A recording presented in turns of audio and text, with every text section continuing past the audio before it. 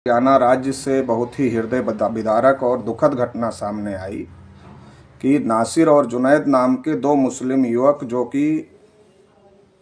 Bolero गाड़ी में यात्रा कर रहे थे, वो रक्षा दल और बजरंग दल के कार्यकर्ताओं तथा हर हरियाणा के सीआईए के द्वारा उनको रोका गया, उनको मारा पीटा गया और बुलेरो में उनको ज़िंदा जला दिया गया। पिछले कई सालों से जिस प्रकार से ब्राह्मणवादी संगठनों के द्वारा मुस्लिमों को टारगेट बनाया जा रहा है। वो केवल मुस्लिमों को टारगेट बनाए जाने का मामला नहीं है, बल्कि देश की एकता और अखंडता पर भी खतरा है। और भारतीय संविधान द्वारा देश के नागरिकों को जो सुरक्षा की गारंटी दी गई है, देश के नागरिकों को जो अधिकार दिए गए हैं उस पर भी हमला है। एक तरफ़ जहाँ हम आज़ादी का पचहत्तरवां वर्षगांठ मना रहे हैं और आज़ादी का अमृत उत्सव चल रहा है, ऐसा सरकार के द्वारा कार्यक्रम चलाए जा रहे हैं, वहीं दूसरी तरफ़ इस प्रकार की अमानवीय और घृणित कायरतापूर्ण घटनाएँ बहुत बड़ा सवाल खड़ा कर रही है। इस घटना की जितना निंदा की जाए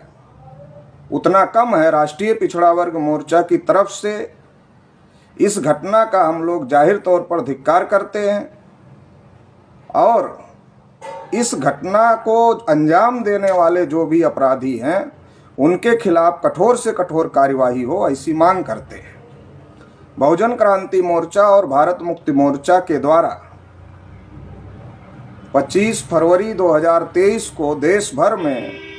इस घटना के विरोध में देश की एकता और अखंडता को बनाए रखने के लिए, देश की एकता और अखंडता को बचाने के लिए, संवैधानिक मूल्यों की रक्षा के लिए, देश के नागरिकों के सुरक्षा के लिए, देश के नागरिकों के अधिकारों की रक्षा के लिए, इकतीस राज्यों के पाँच जिलों में प्रोटेस्ट किया जाएगा और महामहिम राष्ट्रपति महोदय को ज्ञापन भी प्रेषित किया जाएगा। ये आंदोलन